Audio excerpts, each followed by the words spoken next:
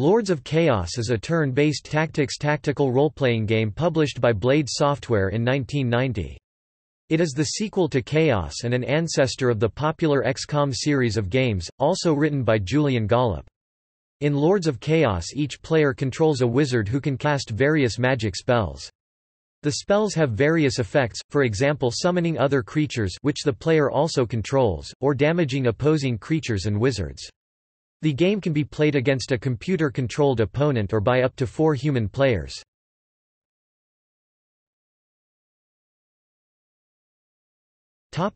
Gameplay Before embarking on the game's levels, the player is asked to design a wizard. This is done by splitting experience points amongst mana, action points, stamina, constitution, combat, defense and magic resistance. Remaining experience points are spent on spells. Spells may be offensive in nature magic bolt, curse, potions speed potion, healing potion, utility teleport, magic eye or summoning goblin, unicorn, etc. These spells continue the theme from Chaos and include some of that game's more unusual elements gooey blob, for example. After completing each scenario, the player may spend accumulated experience points to further improve their wizard. The aim of each level of the game is for a player's wizard to reach a portal which appears after a preset number of turns.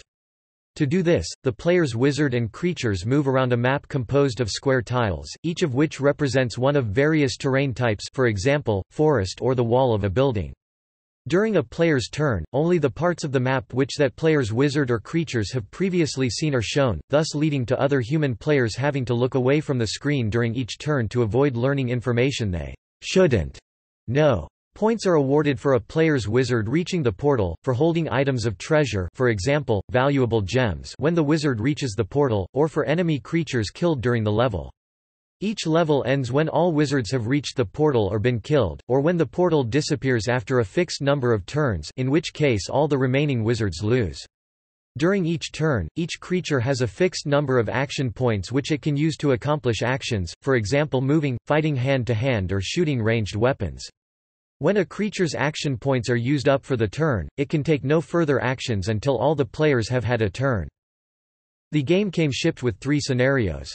The Many-Colored Land provided both indoor and outdoor environments. Slayer's Dungeon was a traditional monster-inhabited dungeon containing a powerful sword. Ragaral's Domain was single-player only, set in a trap-filled palace. An expansion pack was also available if purchased directly from Mythos Games which contained two further scenarios, Islands of Iris and Tombs of the Undead, the latter being single-player only. A demonstration scenario called Escape from Zal was released on the covers of your Sinclair and Zero magazines. It was single-player only and very similar in style to Ragaral's Domain, where you had to escape from a trap-filled building. However, even if the player won, their wizard's experience could not be used in the other five scenarios.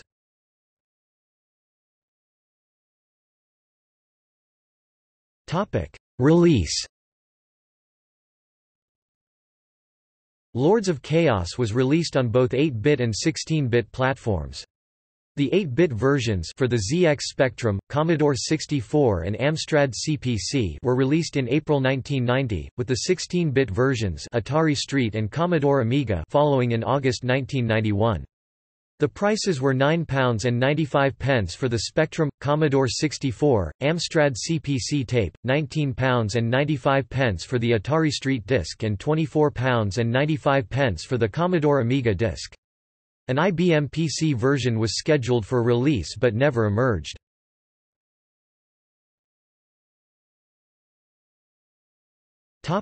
Reception The Spectrum version of Lords of Chaos was reviewed in 1990 by Your Sinclair, awarding 90%, and by Crash, awarding 80%.